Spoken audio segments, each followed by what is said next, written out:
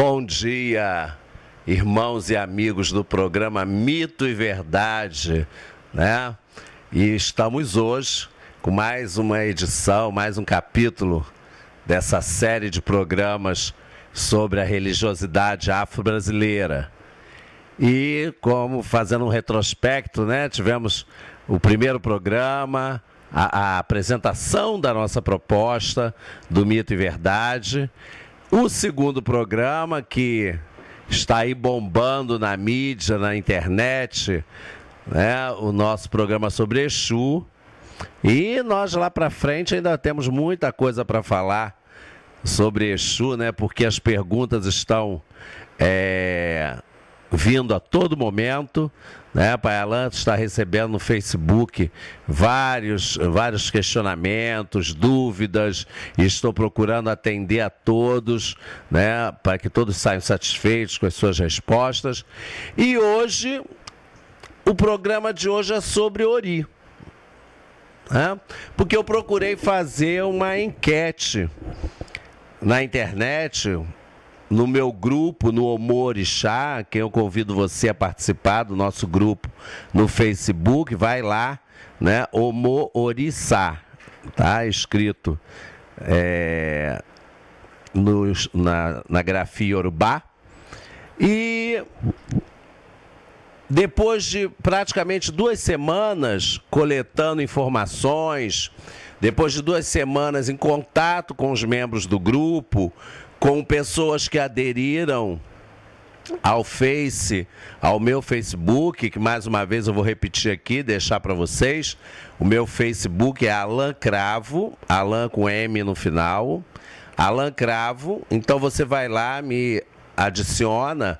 E eu recebi muitas é, perguntas, muitos comentários sobre vários segmentos do candomblé, sobre várias propostas, é, muitas perguntas, dúvidas mesmo frequentes sobre questões sobre iniciação, por exemplo, né? É, em, diversos, em diversas nações, em diversas formas de culto, e aí Pailan sempre procurando responder, né? porque é aquilo que eu digo sempre, é aquilo que você não sabe, pesquise. Porque a pesquisa é que nos faz avançar na sabedoria da coisa, né? E aí eu fiz uma, uma estatística dos assuntos mais pertinentes e mais requisitados. E aí e resolvi, portanto, é, editar esse programa sobre Ori. Eu não imaginava que os próprios adeptos do culto afro-brasileiro tivessem tanta tantas dúvidas, tantas lacunas sobre Ori. Né? Então eu parei, pensei, falei, não, é preciso atender a demanda desse público. É preciso atender essas pessoas que estão esperando as edições do Mito e Verdade, né? que agora virou um programa mesmo na, na mídia e vai continuar. Então, o programa de hoje, que vão ser duas partes, tá, pessoal? A primeira parte eu vou estar falando sobre o Ori, propriamente dito, e na segunda parte eu vou falar sobre o Bori o que é o bori, a finalidade, os tipos de bori, o momento necessário do bori. Vamos desmistificar algumas algumas coisas que vêm sendo veiculadas há muito tempo e praticadas, mas que de uma certa forma representam alguns equívocos. Então vamos procurar desmistificar alguma coisa em cima disso e apresentar é, o sentido do cerimonial, do ritual, na sua essência. Eu acho que o mais importante é isso. A nossa proposta no Mito e Verdade não é questionar o ritual que cada um faz nas suas casas. Nossa proposta não é colocar em xeque a religiosidade de ninguém. né? Até porque nós não vamos atentar contra nós mesmos. A nossa proposta é esclarecimento. A nossa proposta é trazer uma nova luz, uma nova visão sobre algumas práticas né, que são realizadas e aí trazer o questionamento, a reflexão. Eu acho que o mais importante é que nós do Mito e Verdade nós possamos levar até você que também faz parte desse mito e verdade o privilégio da dúvida, o privilégio do questionamento, o privilégio da liberdade de se expor, de se colocar. Porque uma das coisas que eu percebi é. Na, na, na gama de perguntas que me foram feitas pelos instrumentos de, de comunicação, uma das maiores, uma das minhas maiores preocupações foi de que eu vi pessoas adeptas do culto afro-brasileiro, principalmente do candomblé, perguntando é, questões de uma certa forma simples e de simples resposta, mas que não expunham essas perguntas aos seus zeladores por uma questão de medo. E eu fiquei me perguntando que relação de medo é essa dentro da, da religiosidade? Por que haver isso? O medo é ruim, o medo cria barreiras, o medo cria bloqueios, ele cria distâncias muito grandes. E eu também fiquei me indagando em relação a isso. Como é que está sendo construída a nossa hierarquia dentro da religião? Porque hierarquia que se constrói sobre o medo é castelo de cartas. O vento bate, tudo se desmorona. Não é verdade? Então, é, mais uma vez eu vou reiterar esse apelo. Você, meu irmão zelador, minha irmã zeladora de orixá, construa a sua relação com o seu iniciado, com o seu abiã, com, a, com o seu Ebé, com a sua comunidade de orixá, construa sua relação em cima do respeito. E como eu sempre digo, até nas minhas aulas de sociologia com os meus alunos, respeito é uma via de mão dupla. É recíproco. Agora, o medo não. Vamos, vamos retirar das nossas hierarquias domésticas, essa relação de medo, porque o medo ele intimida. E o que nós menos queremos dentro da nossa religiosidade é isso: é intimidar, é coagir, é coerção.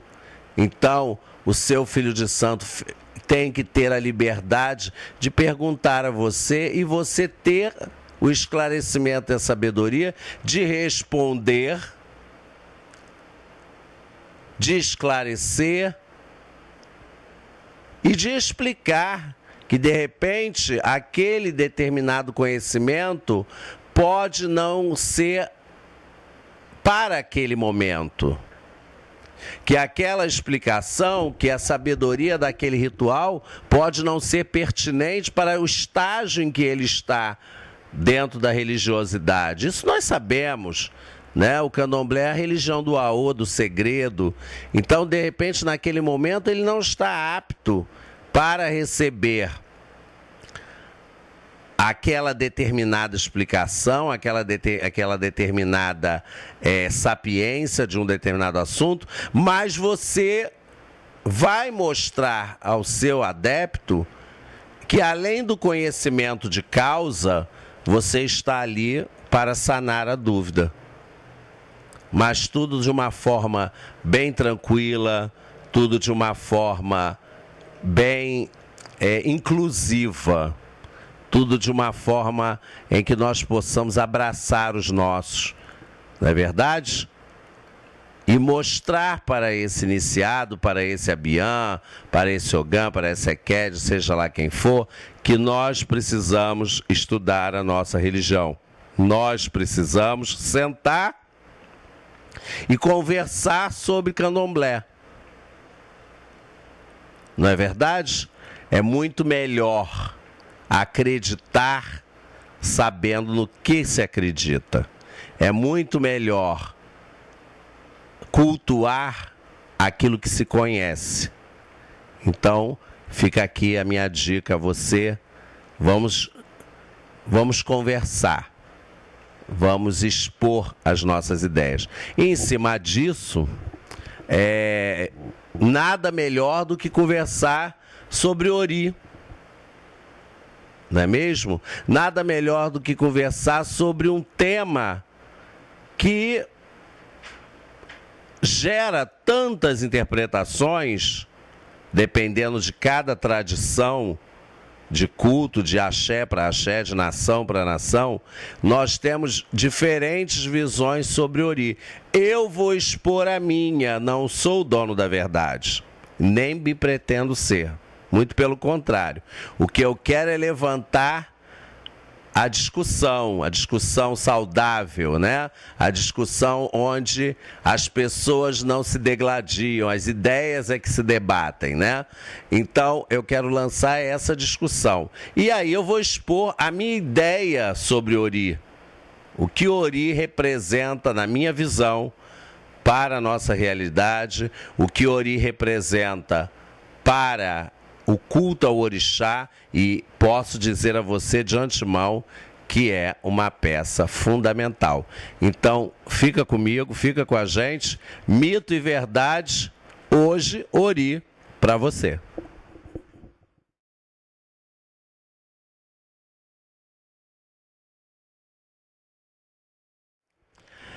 A primeira coisa que nós temos que entender, quando nós falamos em Ori,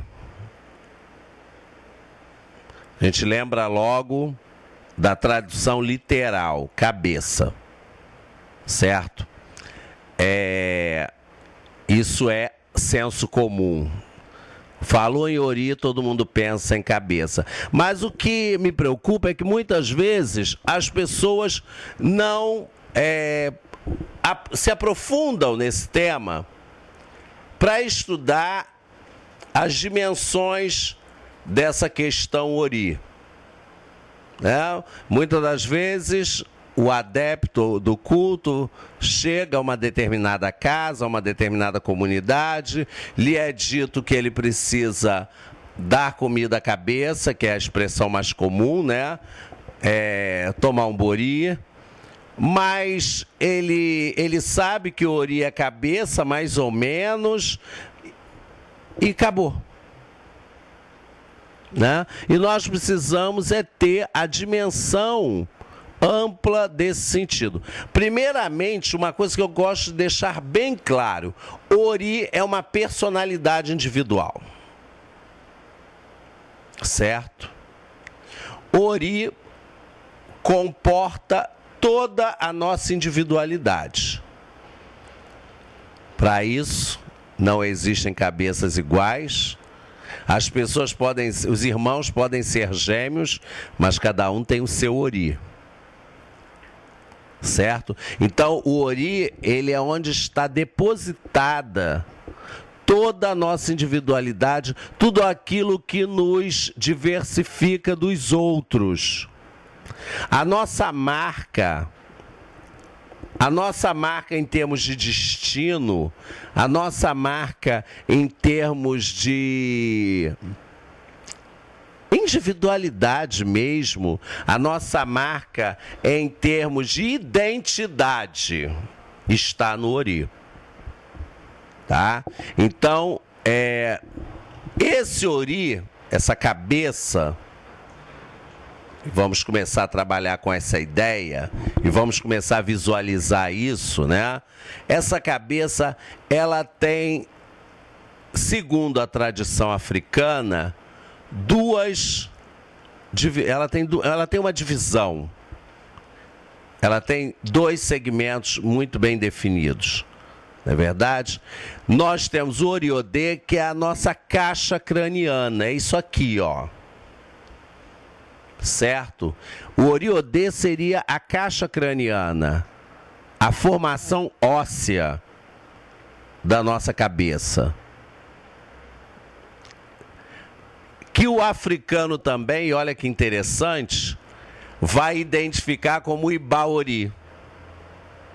Então, o Ibaori, dentro da visão africana, que nós herdamos essa concepção, o Ibaori seria essa complexão física, esse crânio revestido, né, com cavidades para órgãos vitais, órgãos importantes do nosso corpo.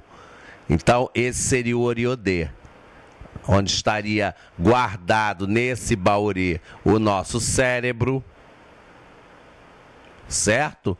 O que, que vai acontecer? Além desse Oriodê, nós temos o Orinu. Esse sim é o espaço da nossa existência, da nossa essência. E o que, que eu quero dizer com o espaço da nossa essência? O Orinu é onde, está, onde estão as nossas funções psíquicas. Ele seria o espaço da nossa alma. Bom, eu acho que quando nós falamos, então, nesse Ori das ideias, nesse espaço psíquico, aí a questão é muito importante. Né? Porque a visão que o elemento africano possui da alma, e nós estamos percebendo que é uma alma inteligente, que é uma alma consciente da sua missão aqui no Aie, na Terra, porque, de acordo com a visão do elemento africano e que nós herdamos para nós, o nosso candomblé brasileiro, nós, no momento da, da nossa criação, nós escolhemos o nosso Ori. Então, nesse Ori, nesse Ori nu, nessa, nessa cabeça psicológica, vamos dizer assim, nesse espaço das ideias, nesse espaço das funções psíquicas, nesse espaço da inteligência, nesse espaço do IEMI, da memória, nesse espaço do IAPO, que é a memória adquirida, é, nesse espaço nós construímos a nossa identidade. Então, quando a escolha do Ori, que é produzido por Babá Jalá, e depois nós vamos falar isso com mais detalhe, é, ali está a escolha do destino, do Odu, que vai nos acompanhar até o final da nossa existência. Então, é, é muito importante nós entendermos que quando nós nascemos, esse Orinu, esse espaço da, das ideias, esse espaço da inteligência, esse espaço da nossa identidade, ele já carrega todo um código de destino, ele já carrega todo um código que vai ser a nossa marca, o nosso registro até a nossa morte. Então é muito bom detalhar que esse Orinu ele traz consigo traços da nossa ancestralidade. E eu vou falar um pouco mais sobre isso. Ele carrega consigo traços é, de até mesmo existências anteriores. Ele traz consigo aquilo que vai nos diferenciar do todo. E quando nós finalizamos a nossa existência, a morte em si, né? Quando o Orixá Iku promove a nossa mutação de estado, quando o Orixá Iku promove a nossa transformação, a finitude da nossa matéria, do nosso corpo físico, esse ori retorna ao elemento primordial que lhe moldou. Muito interessante essa concepção. Existe um retorno, ele busca no Orum o seu lugar de formação. Tá? Então é sobre isso que nós vamos falar e nós vamos detalhar mais um pouco como se dá esse, essa formação desse Ori, tanto no aspecto físico quanto no aspecto intelectual, tanto no aspecto das ideias, da alma propriamente dita.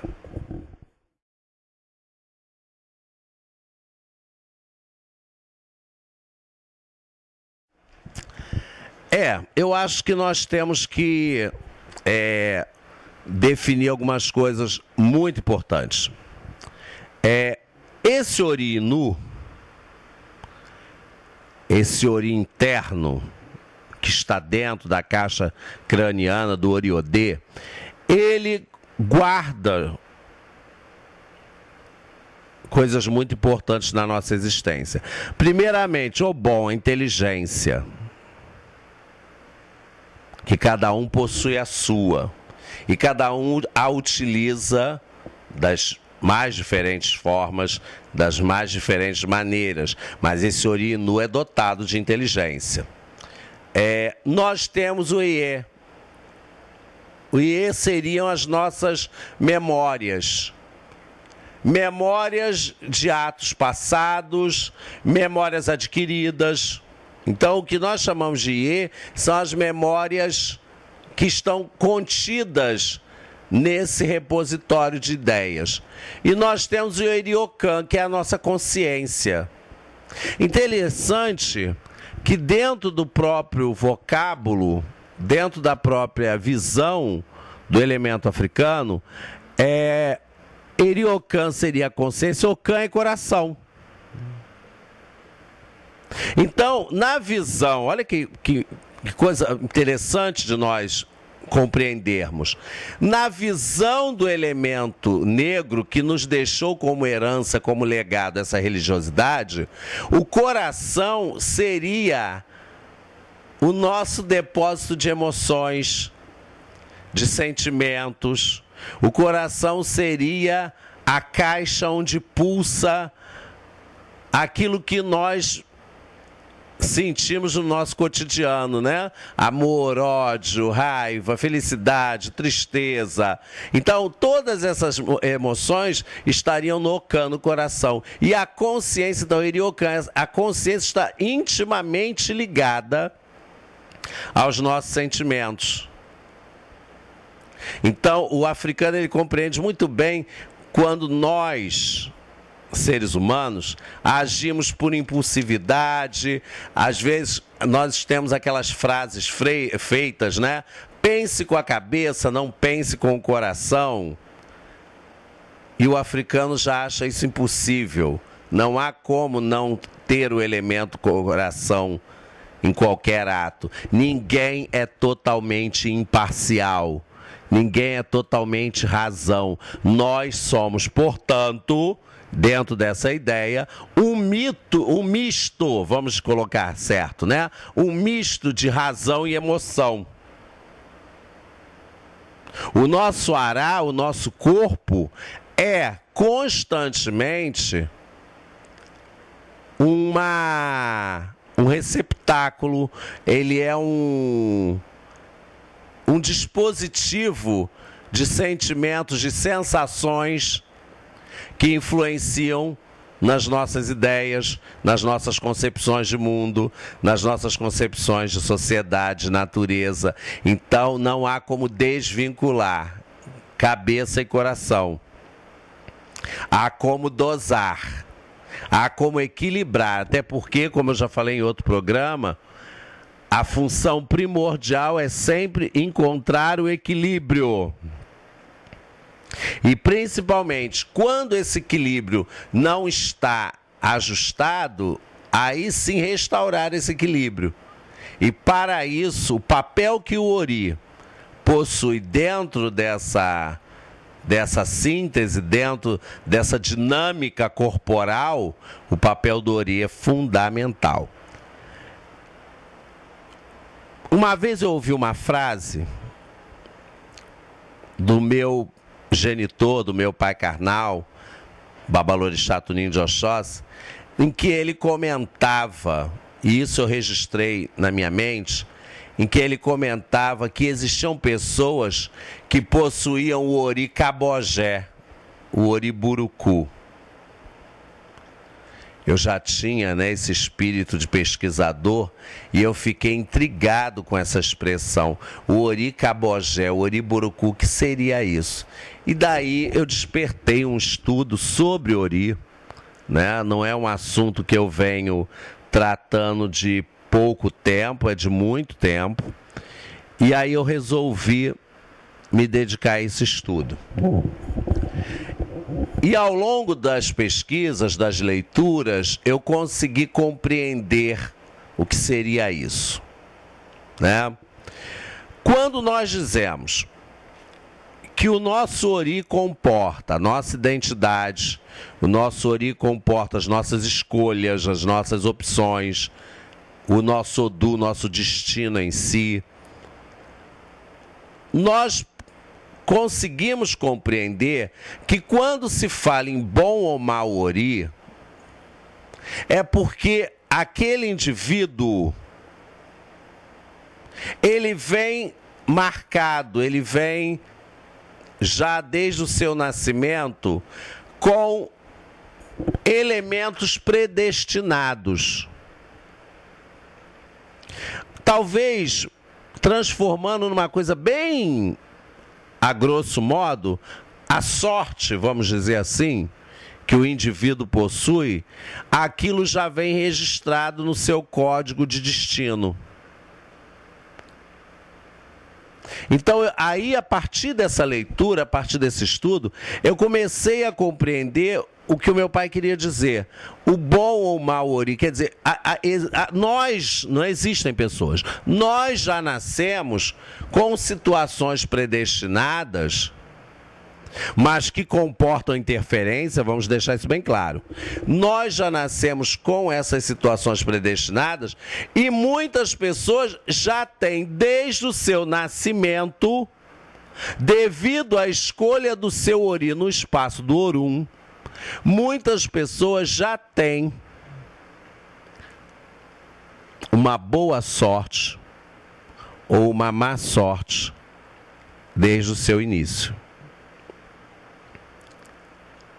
Então, por isso que quando é, às vezes você está à mesa de jogo e você recebe um consulente, uma pessoa que procura respostas, que procura soluções, você consegue identificar que aquele determinado indivíduo, ele já possui.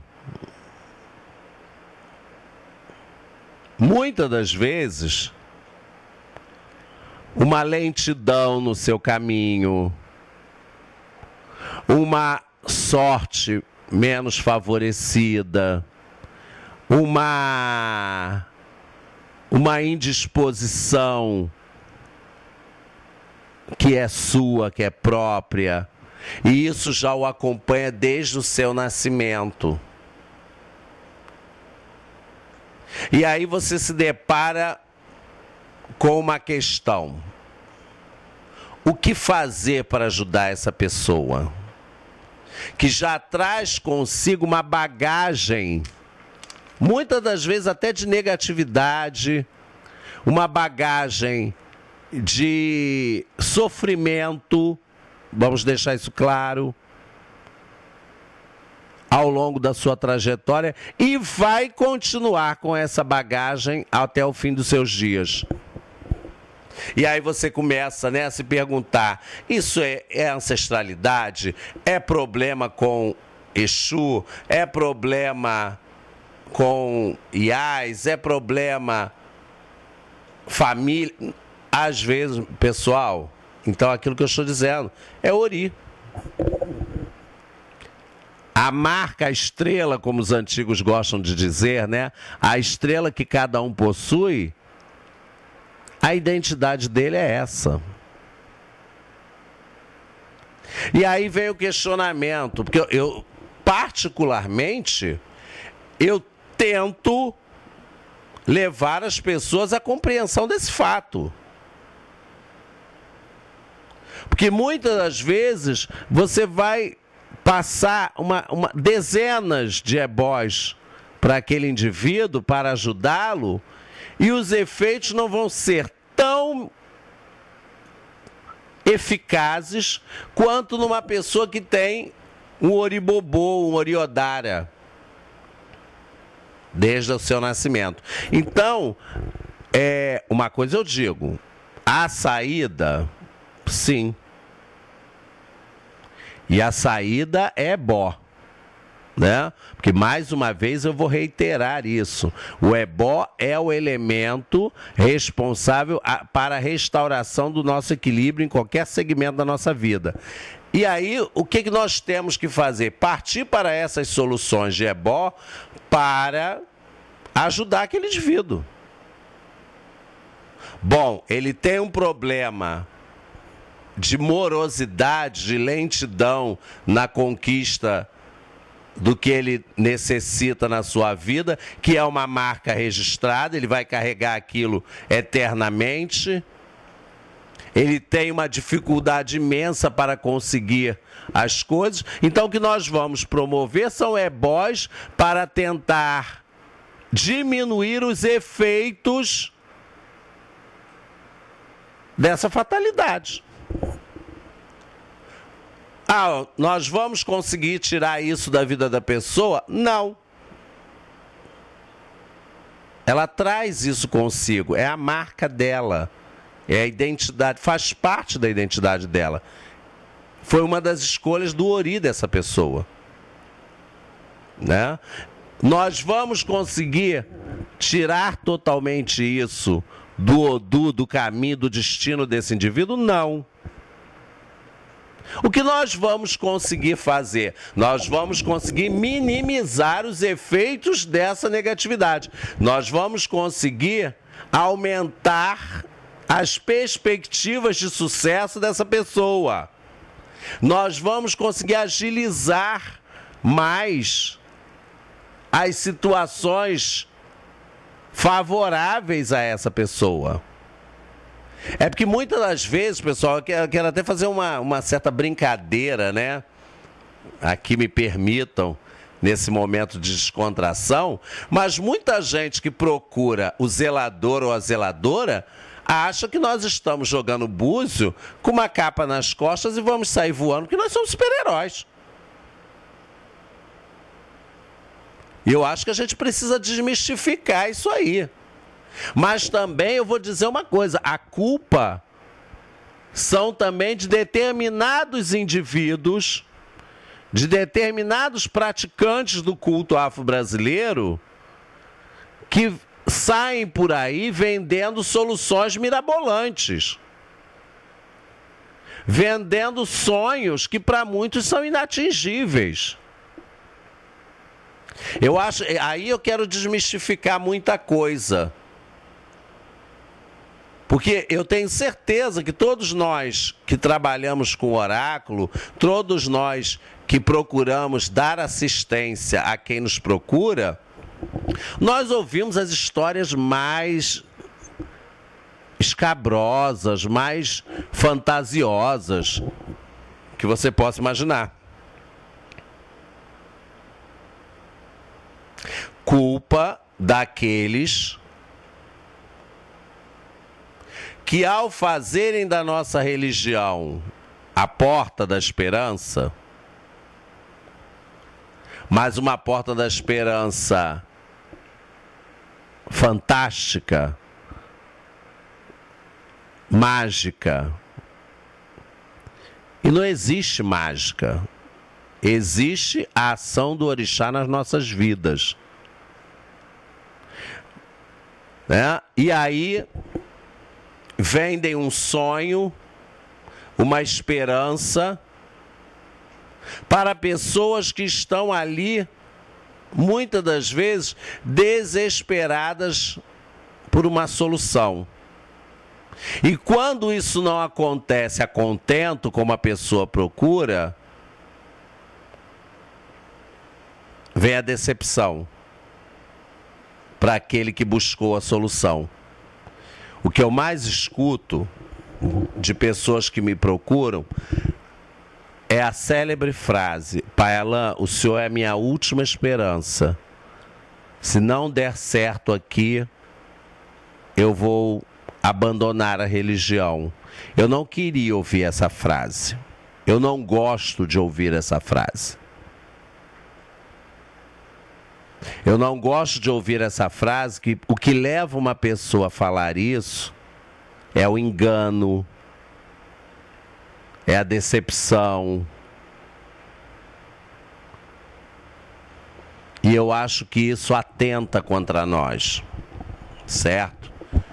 E aí eu procuro dizer para aquela pessoa o seguinte: ei,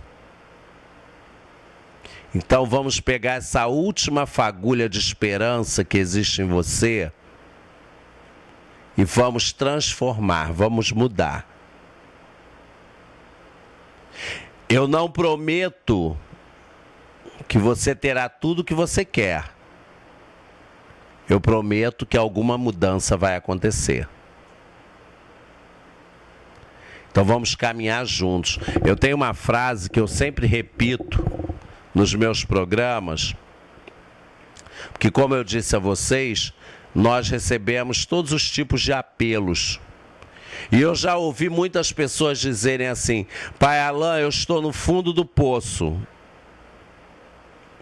Sabe qual é a minha resposta? Ótimo! Aí primeiro gera aquele susto, né? Ótimo que você chegou ao fundo do poço, porque não tem mais para onde ir. Agora é só subir. Chegou no fundo, nada de pânico. Sobe, vem. Eu vou lançar a corda, eu vou te dar a mão, mas sobe, vem comigo. Então, gente, é, não deixa essa centelha de esperança acabar. Confie que o seu Ori programou um destino bem longo para você.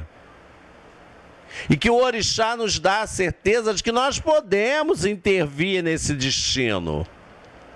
Nós podemos promover algumas inserções, algumas modificações. Basta nós acreditarmos que nós, cada um de nós, eu, você, Cada um de nós possui uma potencialidade. Você tem potencial, eu tenho, todos nós temos. Até quando eu estou dando as minhas aulas mesmo, nos cursos, as pessoas falam: Nossa, Fulano é inteligente. Que nada, eu sou inteligente, você também é. Agora, qual o uso que você está fazendo dessa inteligência? Aí sim, nós vamos conversar, né? Cada um está fazendo um uso diferente. Você acha que o seu ori é um ori cabogé, um ori burucu, é um ori ruim? Você acha que a sua vida é só sofrimento, que a sua vida nada dá certo? Ei! Antes de desistir, vamos tentar? Vamos fazer ebó. Vamos alimentar a ancestralidade. Vamos cuidar do seu caminho, do seu Onã de Exu. Vamos criar um campo de força, um magnetismo espiritual para revertermos algumas situações, para melhorar a sua estada nesse mundo físico, no AE. Eu acredito. Se você acreditar, vem comigo.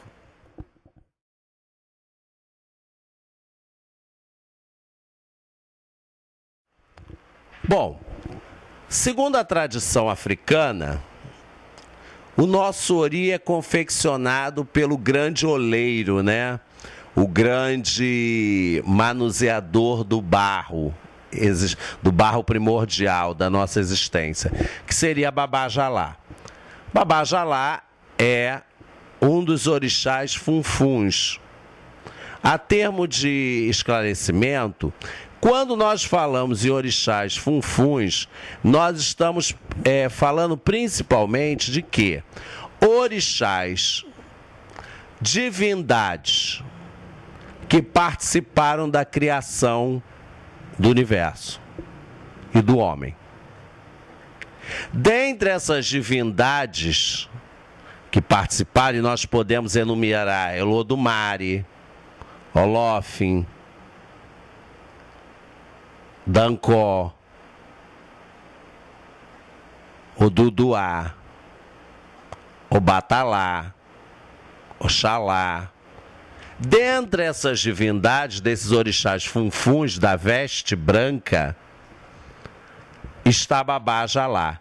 Babá Jalá, então, seria o responsável pela confecção dos oris. Que, segundo a tradição, os itãs né, africanos, por ingerir tanto vinho de palma, alguns oris ficam mais tempo, outros oris saem antes do, do processo da elaboração. Então, cada ori tem uma identidade própria, é um trabalho artesanal.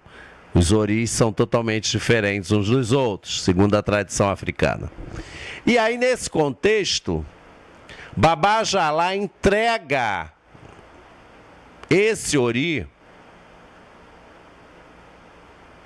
para ser colocado sobre o corpo. Que Oxalá já teria sido responsável pela formação do corpo. Falta o ori, falta a cabeça, o elemento primordial. E logo depois, essa esse ori já num corpo definido, recebe de Obatalá o Emi, o sopro da vida. Agora é muito importante registrar que na confecção dessa matéria-prima desse ori, participam dessa confecção os 16 odus.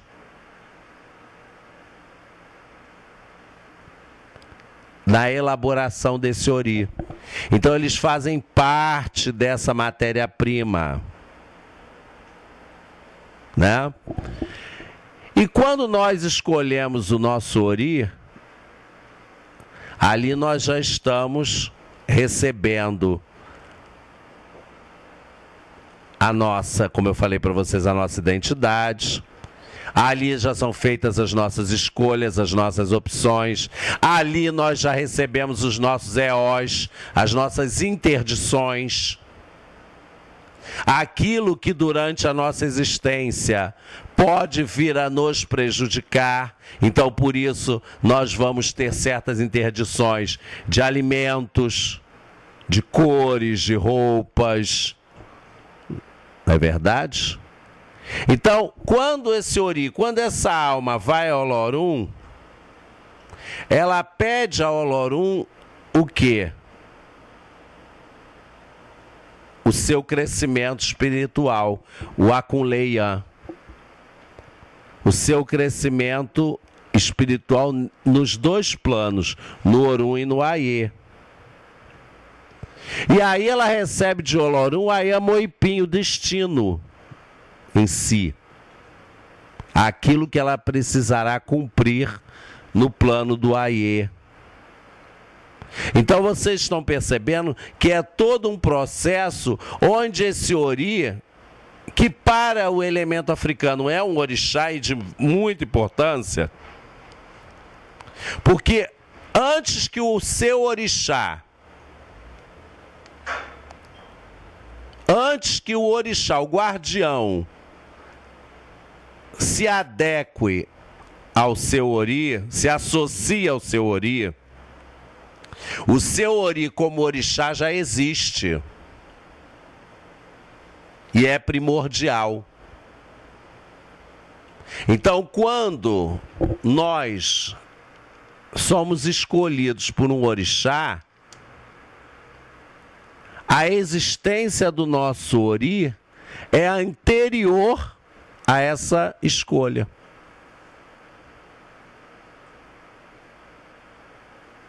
Eu não estou aqui querendo colocar grau de importância, de relevância, não, em hipótese alguma. Mas quando nós nascemos, o nosso ori já fez determinadas escolhas, determinadas opções, e que o nosso orixá vai também se enquadrar nessas escolhas, nessas opções.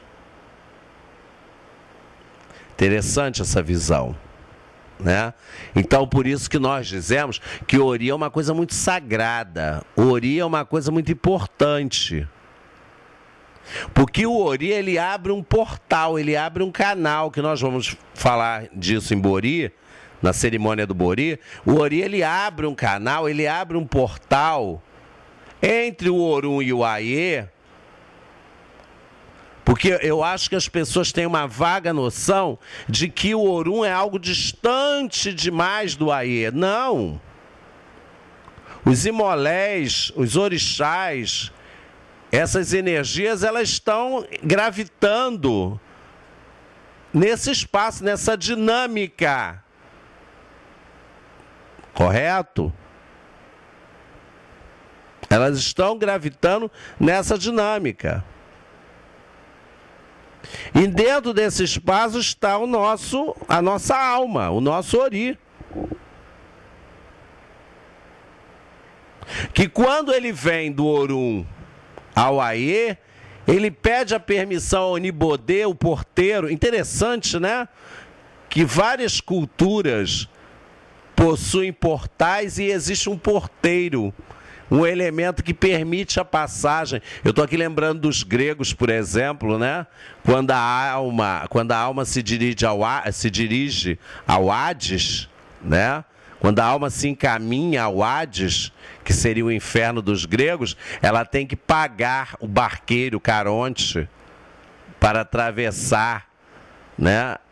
fazer promover a travessia para essa alma. E nós também, na nossa cultura iorubá, nós temos o porteiro, o Onibodê, que é aquele que promove a passagem da fronteira de um universo para o outro, de Orum ao Aie, de, do Aie ao Orum. Né? Então, é muito importante que nós saibamos definir, portanto, que existe um corpo, este corpo recebe esse ori de Babajalá, e Obatalá nos dá então o Emi, o sopro da vida, o início da existência. a essa alma individualizada. E a partir daí então, esse ori comporta o do, destino, e orixá, guardião. Guardião de algo que já existe, mas que vai começar a colocar em prática a sua identidade, a sua bagagem.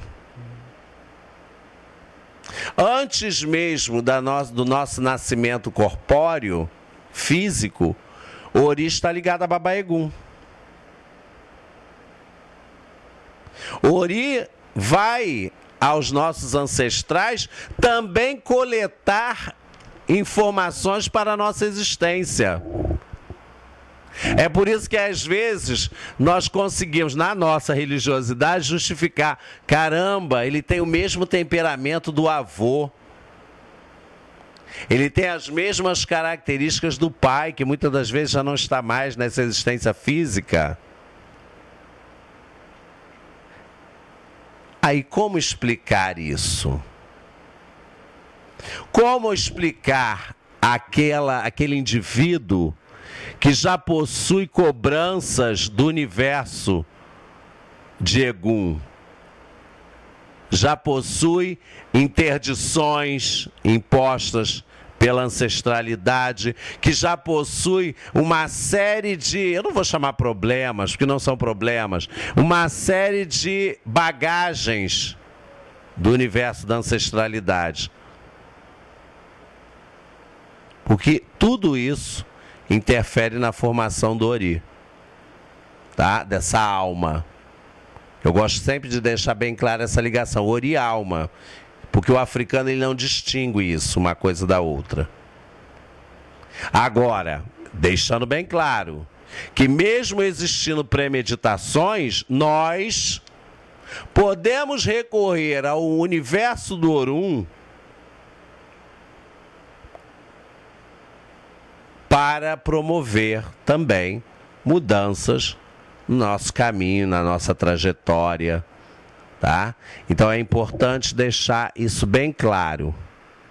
Existe algo determinado, algo pré-definido, mas existe o nosso poder como agente, coparticipante dessa existência.